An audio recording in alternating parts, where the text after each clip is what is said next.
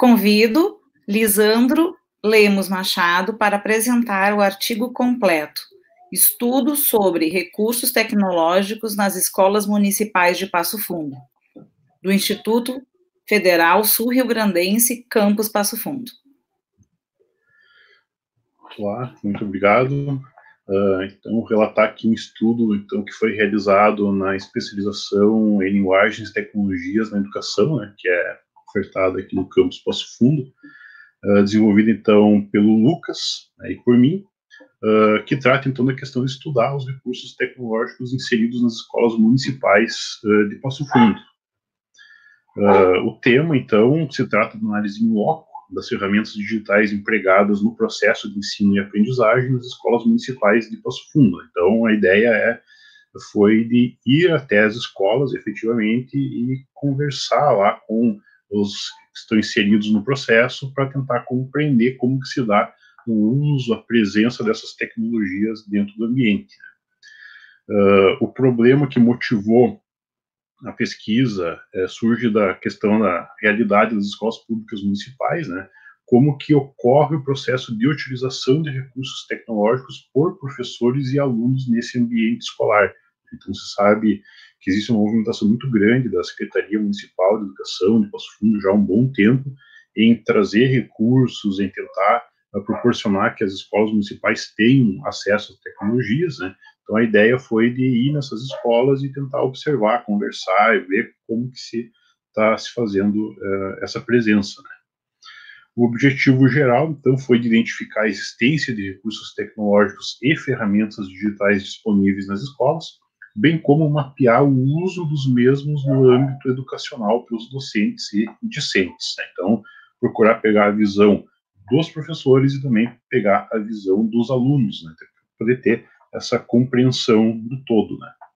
Especificamente falando, então, uh, foi se averiguar o suporte e a presença de recursos tecnológicos e ferramentas digitais no ambiente escolar, identificar como ocorre a utilização de recursos tecnológicos pelos professores, verificar de que forma os estudantes se relacionam com as tecnologias no ambiente escolar, comparar e analisar os dados obtidos em relação à utilização das tecnologias e recursos digitais no ambiente escolar. Né? E a justificativa para isso é justamente essa presença. Né? Então, sabe que as tecnologias na educação não é algo novo, né? então é algo que é tratado já há bastante tempo. Né? Inclusive, foi usada ali a referência do Papert, né? que é uma pessoa, uma autoridade nessa área, né? que desde a década de 60 já falava dessa questão da possibilidade de incrementar lá os processos de ensino, né, usando a questão dos computadores, não apenas para melhorar a aprendizagem, mas para fazer o apoio as diferentes formas de pensar e de aprender, né, então, ir além das possibilidades. Então, é uma movimentação que vem desde então, e hoje em dia, é cada vez mais, a gente consegue ir, uh, como eu comentei, dentro do próprio município de Passo Fundo, mas em várias outras esferas, essa movimentação para se trazer esses recursos tecnológicos para o ambiente uh, educacional. Bom, num primeiro momento, então, se partiu para estudar as tecnologias no ambiente escolar. Né? Então, essas chamadas novas tecnologias, né, então, tecnologias digitais, elas podem variar de significado e utilização dependendo da percepção de cada pessoa que se apropria dela. Então, uh, o que é um celular, por exemplo, para mim, pode não ser a mesma coisa representada para outra pessoa. Né? Então, a percepção varia de um para outro. Então, essas tecnologias, elas existem e elas têm significados dentro da sociedade também dentro do ambiente escolar. Né? Quando aplicado dentro desse contexto de escola pública, ele pode ter um significado totalmente diferente de acordo com a realidade dos elementos que estão ali. Então, o professor pode enxergar aquele recurso de uma maneira, o aluno pode enxergar esse mesmo recurso de uma outra maneira. Né?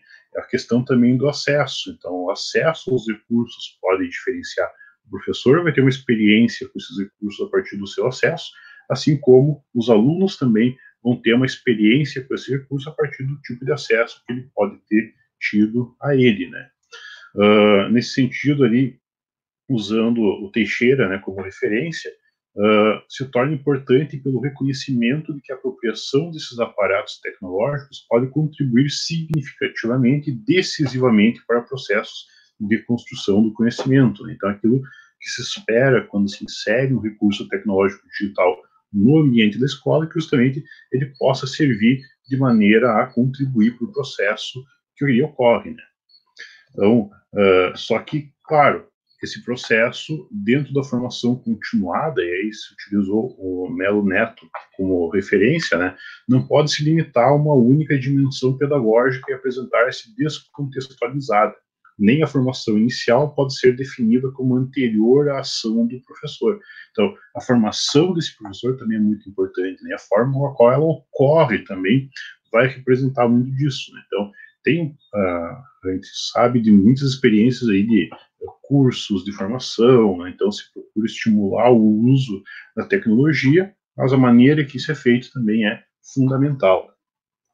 Uh, então, em cima do estudo, né, se pretendeu, sabendo que os recursos estão aí, né, sabendo que o, o, as escolas estão recebendo esses contextos, é, que professores e alunos cada vez mais têm contato com a tecnologia, se foi uh, a campo, né, para pegar lá o cenário nas escolas. Então, como que está acontecendo essa apropriação, que recursos que a gente pode encontrar lá e como que os elementos que se relacionam dentro desse ambiente enxergam esses recursos. Né? Então, foi feito um recorte, né? então se optou por trabalhar com duas escolas de realidades distintas, né? Então, havia sido feito um estudo anteriormente, de maneira informal, de como que as escolas recebiam esses recursos. Né? Então, foi feita uma pesquisa lá com cada responsável do laboratório de informática das escolas municipais de Passo Fundo, levantando alguns aspectos, e aqueles que apresentaram, então, uh, realidade mais completa, e aquele que apresentou uma realidade não tão completa assim em termos de recursos existentes, uh, a gente pegou, então, o que seria o melhor caso, e o caso, não digo pior, mas o caso que apresentou ali uh, menos recursos ou menos uh, tecnologias presentes no contexto. Né? Então, foram duas escolas de bairro, né? se pegou então como público quatro professores e quatro alunos, né? Sendo dois professores do sexto ano e dois professores do nono ano, né? pensando no ensino fundamental 2. Né? Então, os professores trabalham mais ali no início e os professores que trabalham no último ano e também, para ter a outra visão, dois alunos do sexto ano e dois alunos do nono ano. Então, isso em cada uma das escolas. Então, seriam quatro professores e quatro alunos na primeira escola, mais quatro professores e quatro alunos da segunda escola, totalizando, então, 16 entrevistas. Então, a ideia foi ir até a escola e conversar presencialmente com os professores e com os alunos. Né? Então, fazendo uma pesquisa qualitativa, né? pegando as opiniões, as impressões deles uh, a partir das conversas estabelecidas com eles. Uh, então, se teve um formulário específico para ser utilizado com os professores. Nele se procurou, então, trazer a conceituação do laboratório de informática, pela visão deles, a utilização do laboratório de informática e de outros recursos tecnológicos, então tentar identificar né, qual é o uso feito do que existe pelo laboratório de informática, e se também eles fazem uso de algum outro recurso tecnológico que não seja necessariamente o laboratório em si.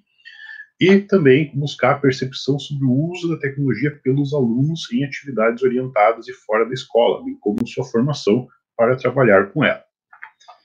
E se teve também o segundo questionário, né, que é aí um, formulário específico para os alunos. Né, e ali se buscou, então, ver como que eles conceituavam o laboratório de informática da escola, né, e responder, então, seus professores, como que os seus professores costumavam utilizar esse laboratório, se os professores utilizavam outra tecnologia além do laboratório de informática e a percepção que eles têm quanto à utilização das tecnologias pelos seus professores, e também quais as tecnologias que eles têm acesso fora da escola e como que eles as utilizavam. Tá? Daí, com base nisso, foi-se então até as duas escolas, foi conversado então com os professores e com os alunos em cada uma delas, e a partir daí então se teve os resultados dessa aplicação. Então, em relação aos professores, né, então, tanto da escola, a gente chamou então de escola A e escola B, uh, em relação à avaliação que eles faziam do laboratório de informática existente na escola. Então, na escola A, os quatro professores entrevistados avaliaram o laboratório de informática como bom ou regular. Né? Então, que atenderia ali uh, a demanda deles para utilização, informando que o uso se dava por planejamento prévio, né? então tinha que ter um planejamento para poder fazer o uso desse laboratório de informática.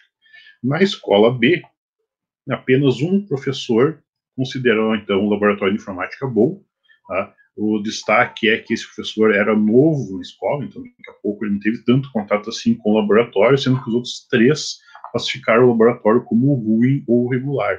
Né? Então, uh, essa impressão foi do único professor. Uh, e uma opinião que ficou, né, então não desse professor, mas de outros professores, né, que os equipamentos são muito ultrapassados e constantemente dão problemas. Então, eles, inclusive, não utilizavam tanto assim o laboratório por causa disso. Né? Então, as máquinas estavam antigas, já não, não davam mais o suporte para se fazer atividades uh, que demandassem muito processamento, né? E também o fato de daqui a pouco ir para o laboratório, essas máquinas serem antigas e acontecerem problemas durante o uso, né? Que é algo uh, bastante comum em computadores que não passam por manutenção, né? ou que realmente uh, sejam mais antigos, né? Uh, em relação à utilização de outros recursos. Né? Então, se perguntou para os professores se, além do laboratório de informática, eles também utilizavam alguma outra tecnologia. Então, dos oito professores, né, então, pegando as duas escolas, apenas um deles relatou que não utiliza nenhum outro tipo de recurso. Né? Os demais citaram como recursos utilizados notebook, data show, uh, trazer materiais em pendrive e também utilizar videoaulas. Né? Então, em meio às aulas convencionais sem o uso do laboratório de informática. Também foi relatado por alguns o uso do celular. Né?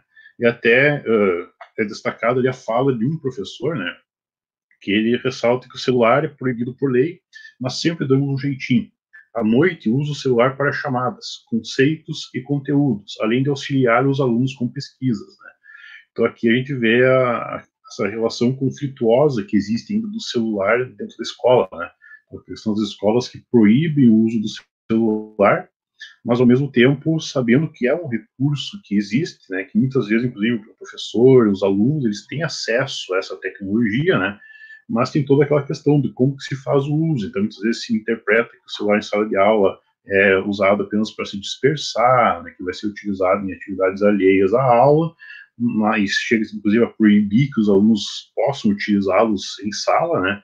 Por outro lado, professores que enxergam nesse recurso uma possibilidade de utilização, até mesmo num contexto de ter um laboratório de informática que não esteja adequado, né? que não funcione da maneira que se espera. Né? Então, se tem acesso à internet, usando o celular, se pode tentar de alguma forma ou de outra uh, utilizar ele em benefício do processo, né? Uh, na formação para atuar com tecnologias, apenas um professor falou que não tem conhecimento, ou seja, que não recebeu nenhum tipo de formação uh, nesse sentido. Os demais todos relataram que a Secretaria de Educação proporcionou a eles formação.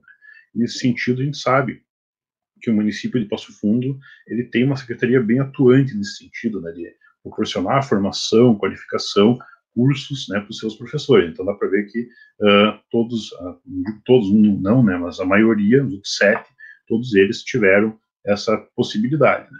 O que, que eles relataram nessa questão, então, quando se falou da formação com as tecnologias? Né, problemas com infraestrutura, né, então daqui a pouco recebe a formação uh, para utilizar lá determinados recursos que são uh, disponíveis, por exemplo, uh, no cyberespaço, e daqui a pouco chegar na escola e não ter uma infraestrutura que suporte isso, né, seja de máquina, seja de conexão à internet, né, que também é um problema recorrente, e isso acaba fazendo com que fique difícil de acompanhar essas inovações tecnológicas. Né? Então, daqui a pouco na teoria eles aprendem, no curso de formação eles aprendem, mas na hora de ir para a escola eles não têm a estrutura né, necessária para que isso seja efetivo, né.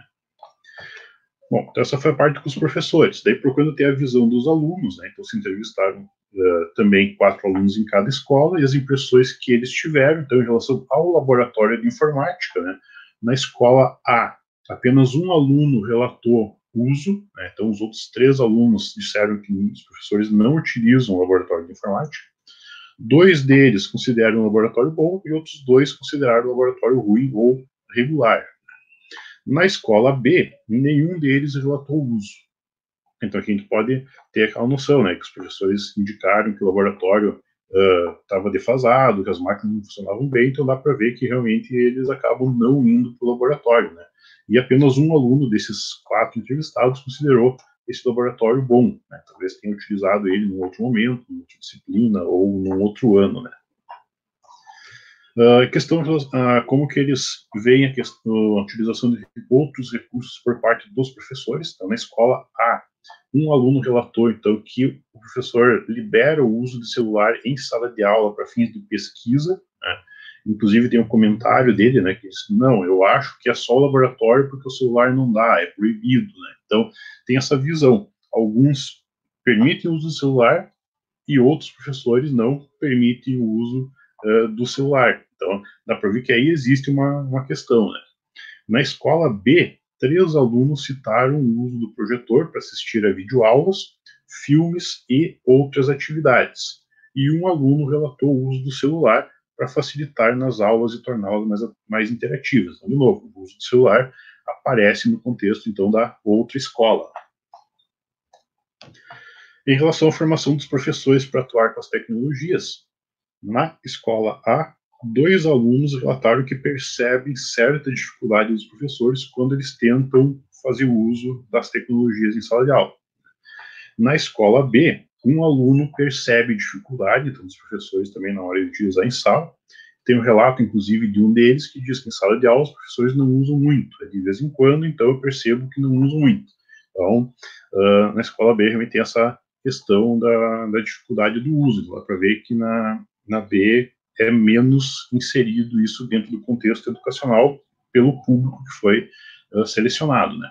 Já na escola A, por mais que se tenha, então, uh, mais recursos, né, que a B dá para ver que ainda assim não quer dizer que esteja sendo plenamente utilizado, né, para ver que os alunos relatam dificuldade por parte dos professores de fazer uh, essa utilização, né.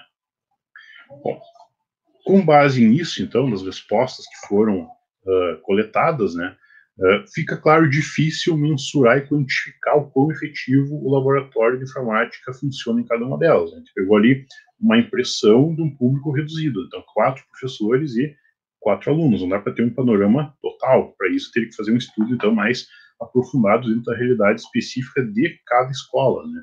até para tentar enxergar isso melhor. Daqui a pouco alguns professores utilizam melhor os recursos, mas não foram entrevistados, né? Ou daqui a pouco os entrevistados ali dá para ter uma, um panorama maior sobre o uso uh, do próprio recurso. Né? Uh, deu para identificar que existem recursos nas escolas, né? então seja laboratório de informática, seja um projetor, né? uh, tanto os alunos quanto tanto os professores quanto os alunos entendem que as tecnologias presentes nas escolas são ultrapassadas, não funcionam como gostariam ou não têm conexão adequada. Então, alguns casos é a infraestrutura de máquinas que é ruim, em outras é a questão da conexão que não é boa, então não existe um consenso dizendo que é pleno. Né? Então isso deu para se perceber nessas questões, inclusive na escola que uh, se tem ali um laboratório, condições melhores, né? Deu para perceber nas falas ali, pelo menos dos alunos, por exemplo, que uh, existe uma carência nessa utilização. Né? O fato que também chama atenção é o uso do celular, né, que pode ser utilizado como aliado a essas tecnologias ultrapassadas, porém, deve haver formação e treinamento dos professores, uma conscientização do uso pelos alunos. Né? Então, uh, o que dá para perceber é o celular está presente. Isso é algo inegável. Né?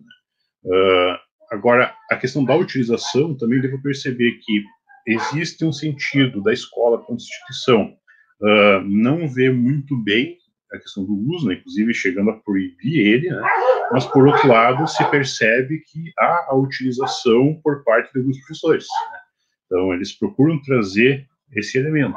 Então seria muito possivelmente sim algo a ser explorado no sentido de daqui a pouco ter uma visão um pouquinho maior sobre o uso dele, então de maneira pedagógica, como que isso pode se dar da melhor maneira. Daqui a pouco ter uma formação específica para isso, daqui a pouco discutir dentro da própria escola como que isso pode acontecer, daqui a pouco liberar eles ou ter um contexto de utilização diferenciado, não proibir totalmente, né?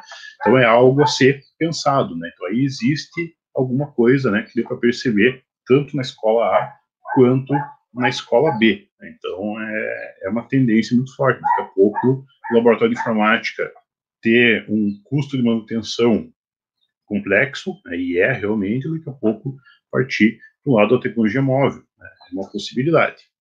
Uh, também essa pesquisa forneceu uma amostragem de duas realidades distintas vivenciadas pelas escolas municipais, né? Então, justamente se procurou trazer essa distinção entre as escolas, né? Então, como comentei anteriormente, se fez um mapeamento entre várias escolas e se destacou essas duas justamente pela diferença que se tinha, né? Para tentar enxergar como que se dá a questão do uso. Mas, claro, futuramente o ideal seria justamente em cada uma das escolas municipais tentar fazer essa análise. Né? Porque, que nem se foi dito anteriormente também, uh, existe uma movimentação do município em dar recursos para as escolas, em investir em qualificação de professores, né, investir em conexão de internet e tentar entender e ver como que isso está acontecendo efetivamente. Daqui a pouco as ações estão acontecendo, mas como que isso está se refletindo diretamente lá dentro do ambiente educacional. Né? Então esse é um ponto a ser dito. Né? A gente pode mais ou menos uh, tirar uh, um termômetro disso pela escola A, né? que é uma escola que aparentemente tem uh, melhores recursos, tem ali um laboratório mais funcional e que a princípio, pelo que se perceber do, das opiniões coletadas, não tem um funcionamento total, né? então não está sendo sempre utilizada, existe uma questão de dificuldade que acabou sendo uh, relatada. Então, isso são questões a serem ditas. Então, esse foi um contexto de uma escola. Então, daqui a pouco, nas demais escolas, como será que isso está acontecendo também? Então, seria algo interessante. E, claro, tendo um tempo maior de, de, de pesquisa, né, podendo fazer esse aprofundamento, né? Daqui a pouco, até mesmo conversando com mais professores envolvidos nessas escolas, mais alunos, para ter um campo maior de visão uh, desse processo. Né? Então, fica essa possibilidade aí de estudos futuros para fazer esse mapeamento mais elaborado. Uh, ficam então as referências utilizadas, né? então se procurou ali trabalhar com os contextos uh, de uso, né? então a, a questão da, da, cybercultura, do uso das tecnologias uh, educacionais, né? então o Levi, o Papert, né? e também toda a questão da utilização das tecnologias na educação, né? que é algo que embasou ali toda, todo o processo realizado. No mais, fica então aí os nossos contatos, né? Então, do Lucas e meu, uh, muito obrigado pela oportunidade.